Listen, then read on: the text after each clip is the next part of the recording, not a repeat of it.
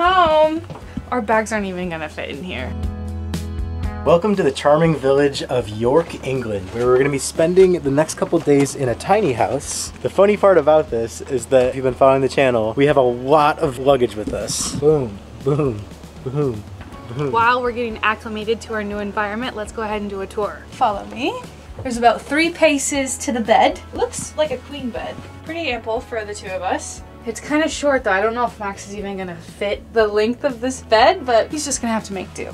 Over to the right here, we have a little coffee station. We've got a kettle, two cups, and some instant coffee and tea. There also seems to be a little decanter of water, trash can. Over here is the TV. Then we've got some soap, some conditioner, an extra towel, and toilet paper. As you can see, there is no bathroom or shower here, so let's go find the toilet.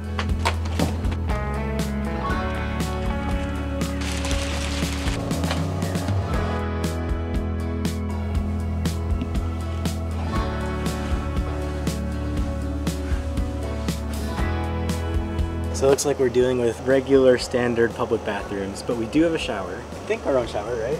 Look away.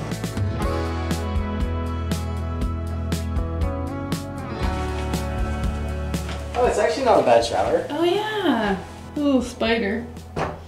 There we go. Oh yes, that looks very clean.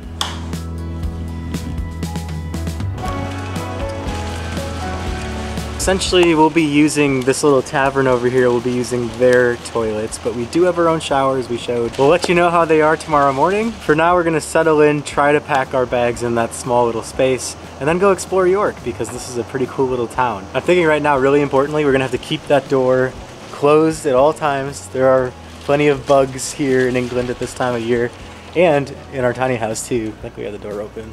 First impressions are it's really cute, it's really out of our comfort zone. We've done nothing like this before, and I'm excited. Let's check in from 12 hours from now.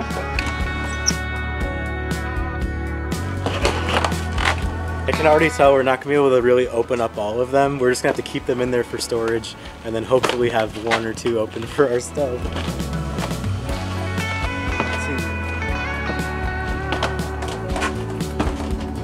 Well, we've officially moved in. The good news is there's space for us to get to the bed. I think that's the most important part. The bags aren't on the ground yet and we don't have them open, but I think that's a problem for later. We want to go explore York and just kind of leave our problems behind us, tucked away in this tiny house.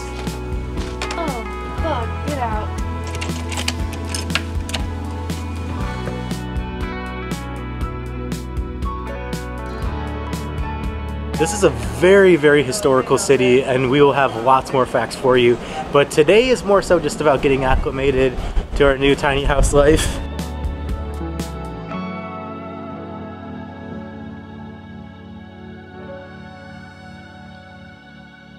So York certainly isn't one of the larger cities here in the UK, but what it lacks in size, it makes up for in charm. It's just a really nice, walkable place, and you're gonna find a lot of things. You don't even really need an itinerary here. And so far, we're just trying to get familiar with the area that we're staying, and we can already tell that we're gonna be able to do this very easily in a day. Perfect day trip if you're near Newcastle, maybe even Manchester or Liverpool.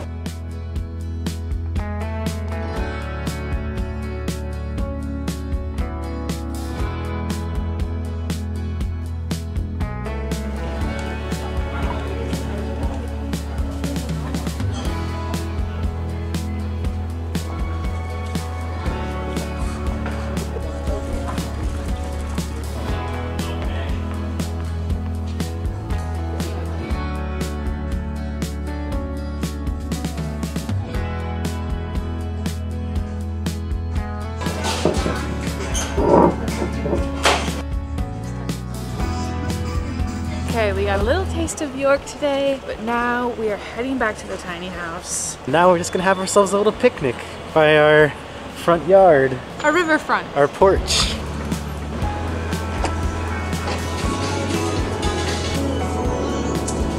Please place your bag in the bagging area.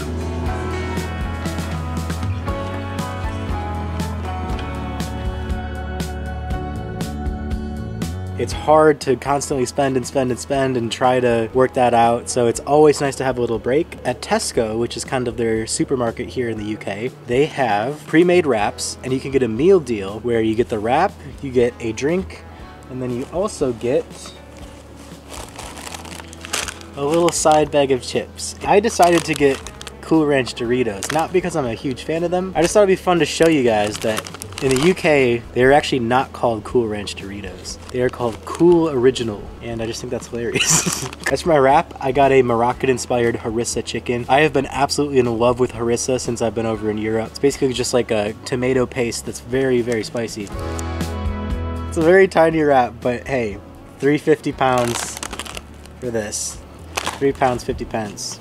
You know what? That's really nice. I guess my own complaint would be I wish it was bigger. Very good flavor. Okay, now the moment of truth. Do Doritos Cool Original UK version actually taste the exact same as Doritos Cool Ranch US version?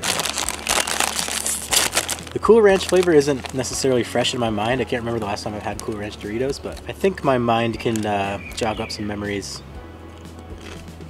Yeah, the same pretty much the exact same. It is kind of interesting when it comes to snacks and chips, or crisps as they call them in the UK. Pretty much in every country we've been to, there's been a different version of whether it's Lay's chips or Pringles are really big here. So every time we've been in like a convenience store or supermarket, we just notice it. Like, I think the best example is in Spain, they have jamon flavor everything. They have jamon Pringles, they have jamon Lays. Paprika Pringles are another really big thing here that we never see in the US. I feel like they're actually not too big on ranch here. We've been to a few places where they have like buffalo chicken things, but even then, it's like a dill sauce that they usually serve with it.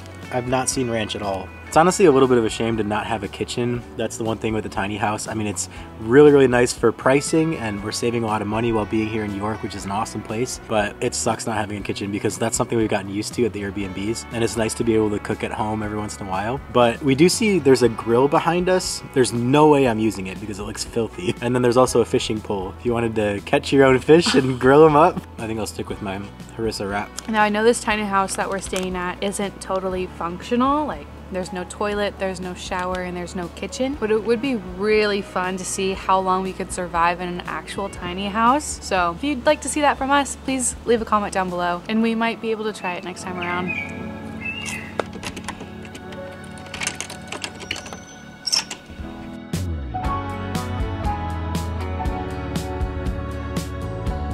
It's not going to be a place we're going to want to spend a lot of time, which is good because it forces us to explore York. I guess the biggest struggle, not having the bathrooms is a little, a little bit of a struggle. Yeah, I mean, the biggest thing we need space for is ourselves. so.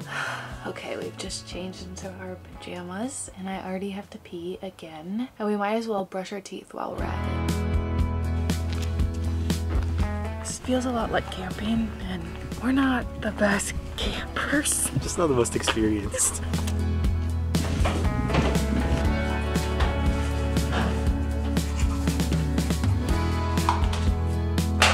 Do you guys wet your toothbrush before toothpaste or after? I'm one of those people who does both, but I don't know if that's weird or not.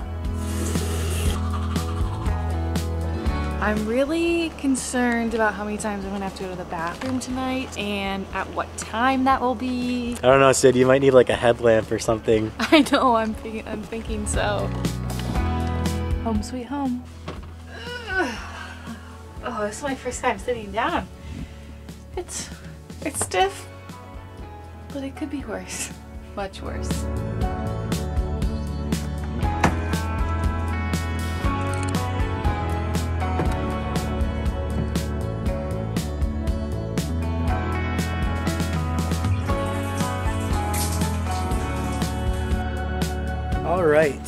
Few spiders defeated, all showered and ready to go for the day. Yeah, I think it was an interesting experience last night. I mean, I slept okay, Sydney slept okay. I only had to get up once during the night, and it was actually already light out when I got out. It feels like camping in a way, but also we're like kind of in this back lot of this patio bar, and it's all just very strange, but it's nice to be able to just have this little space and then walk right out onto one of the main streets of York. I'm so proud of myself. I did not get up once during the night to have to go to the bathroom, so kudos to me. It's a great way to do York on a budget, under 100 pounds for two nights. If you do like these videos where we're kind of reviewing our accommodations, please let us know if you want to see more, and we can definitely make that happen. We are spending the entire day exploring this old historic city. Make sure you check out that video as well. Link is below in the description.